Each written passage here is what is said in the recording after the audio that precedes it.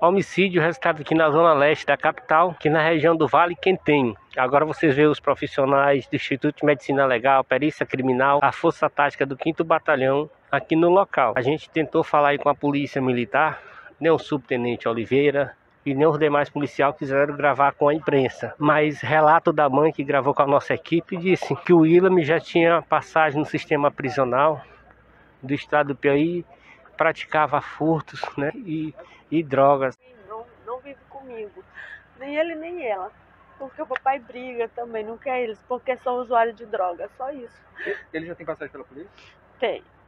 Por quais crimes? A senhora sabe qual?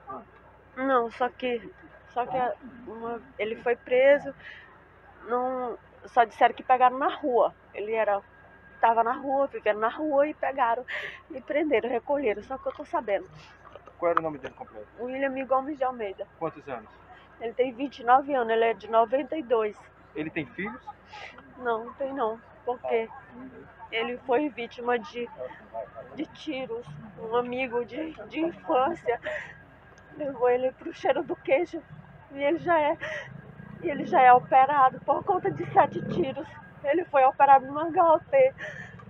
Ele já. Então você já tem a suspeita de quem tenha praticado o crime? Não, eu não sei, só. Só quando eu cheguei no local, disseram que foi um boqueiro, eu não sei. Não sei.